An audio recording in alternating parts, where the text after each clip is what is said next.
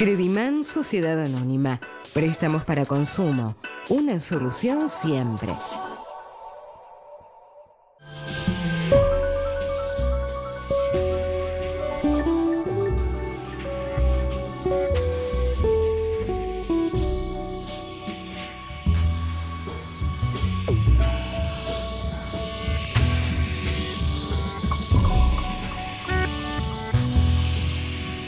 Promotora Social Vida, Sociedad Anónima, apoyando tus sueños. El Faro de Vigo, comida gallega en un auténtico ambiente español. El anfitrión Manolo de la Rosa, Quintino Bocayuba 522, reservas 4982-7431. Las cooperativas son organizaciones voluntarias abiertas para todas aquellas personas dispuestas a utilizar sus servicios y dispuestas a aceptar las responsabilidades que conlleva la membresía, sin discriminación de género, raza, clase social, posición política o religiosa. Cooperativa de Vivienda, Crédito y Consumo Amigal Limitada. Cooperativa de Crédito La Plata Limitada.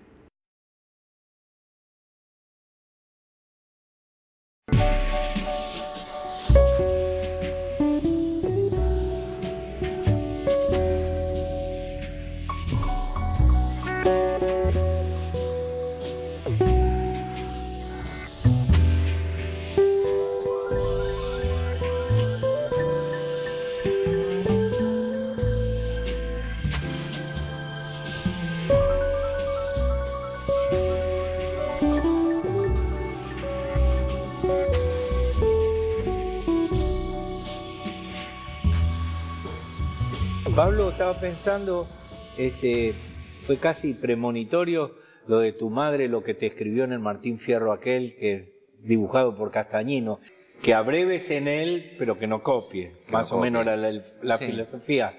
Sí, un poco es eh, la obsesión, ¿no? Eh, eh, siempre muy personal, o sea, no, no quería parecerme a nadie, quería ser, ser yo, ¿no? En todo, ¿no?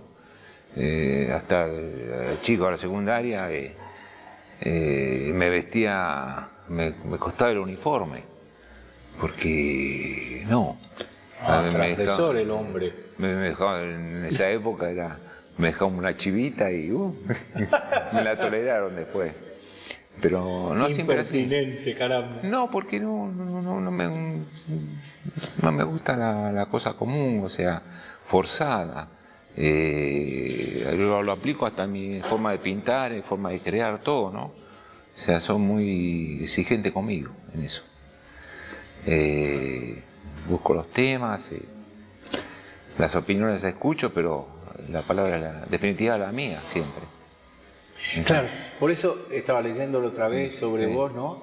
Y este, y por cierto que todos en cada mm. una de las actividades tenemos influencia guardada. Mm. Uno es heredero de tantas cosas, ¿verdad?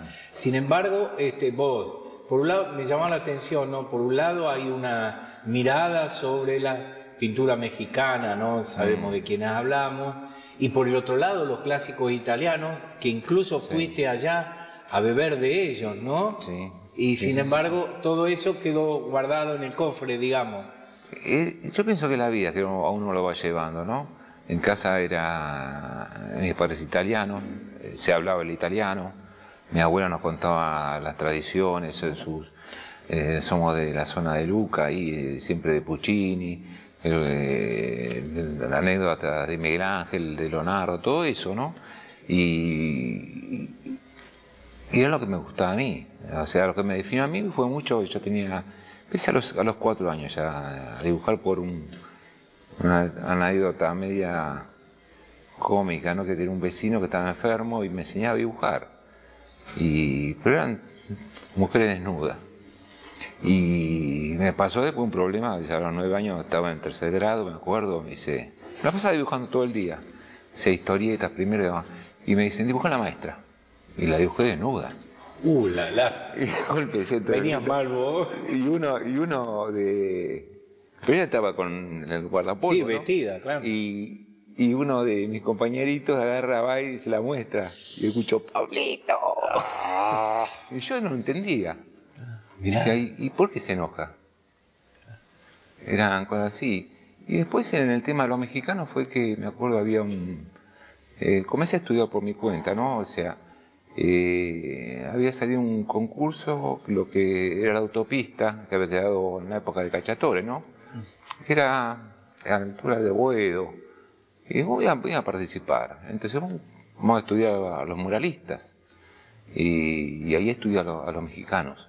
Y, siempre se le pega a uno claro, esas cosas. Claro, claro. O sea, estudié la técnica. Eh, pero después, una vez que ya más o menos manejé la técnica, me olvidé de ello. Pero me quedó eso. Cuando decidí, ya a los 13 años, eh, estudiar por mi cuenta, en casa me apoyaron mucho, eh, me compraban reproducciones y yo estudiaba las reproducciones, que no eran buenas reproducciones. ¿cómo logran esas? Y eran defectos de impresión a veces.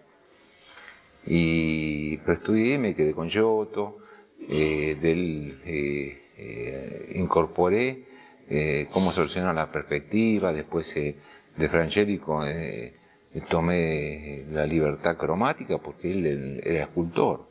Entonces buscó en la naturaleza los colores. Yo empecé me acostumbré a eso. Rafael la pincelada, todo eso, con Van Gogh, eh, la cromática fuerte, eh, cómo Frangeli, cómo unía con colores tan, también, o sea, fui aprendiendo todo un poco, pero siempre con una visión de, lo estudié, pero ya sé.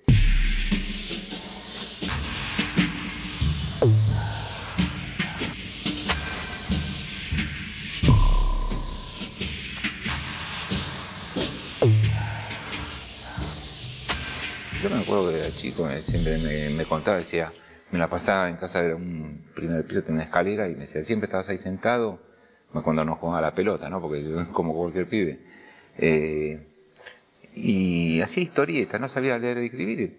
Y, y me, me dice, te pasaba riendo, claro, pues yo me imaginaba los, diálogos. O sea, era, era mi diversión. Entonces, eh, en cuanto a la cromática, decía, me limitaba mucho el hecho de decir, bueno, mira, violeta con amarillo opuesto y todo. Entonces vamos a empezar a hacer mezcla. Y el violeta con amarillo saco un naranja hermoso.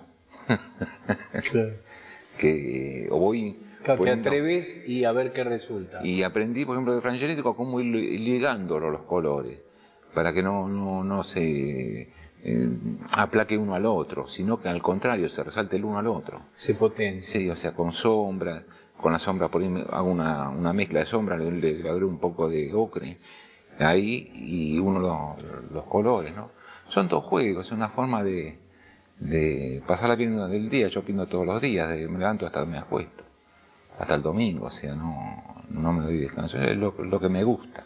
Claro, claro, soy feliz así. Soy feliz ahí. Quiero volver ahora, este, después, mm. porque me llamó la atención esto de siete, ocho capas de base para el lienzo. Pero si me permitís, no quiero que se me escape algo, dijiste jugar la pelota.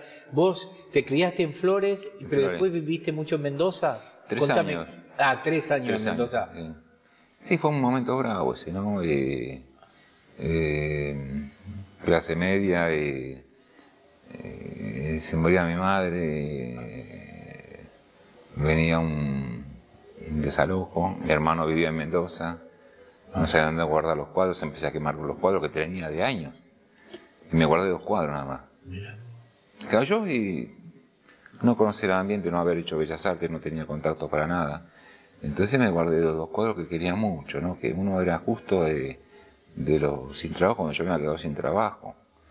Eh, representaba en ese cuadro los cuatro sentimientos.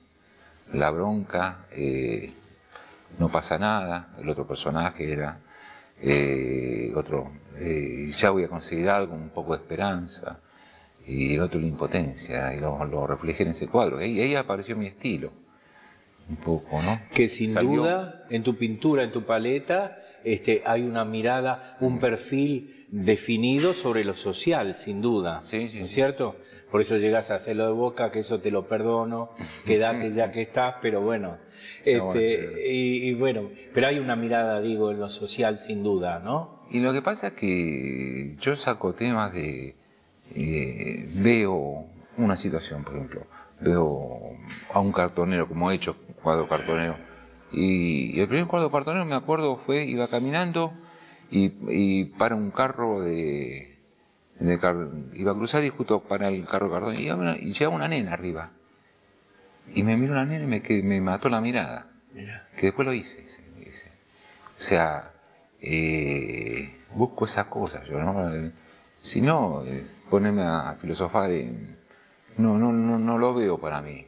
Entiendo, no lo abstracto, sino lo concreto, lo que, lo que me impresiona. Lo que eso te iba a decir, Y lo, interpreto a mi forma y siempre y, y, yo le digo que es eh, es un realismo interior lo mío, porque trato de, de, reflejar el interior de la persona, no el exterior. En un momento en mi aprendizaje eh, intenté hacer hiperrealismo hasta que vi un, un, cuadro hiperrealista que, que no me gustó, porque era muy muy fotográfico. Decía, ¿y para qué sentido tiene? Dije yo, para mí. Para mí no sirve. Para mí no sirve esto.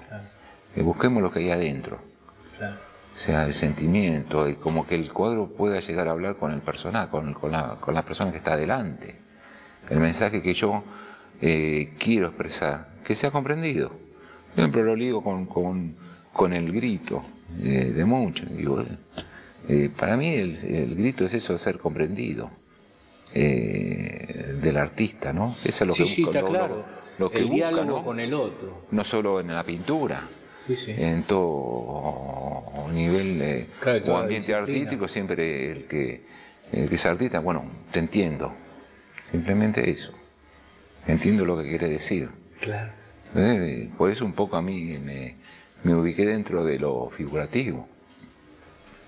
De otra forma no, no lo intenté, digamos, en lo abstracto, no me llama a mí, por ejemplo.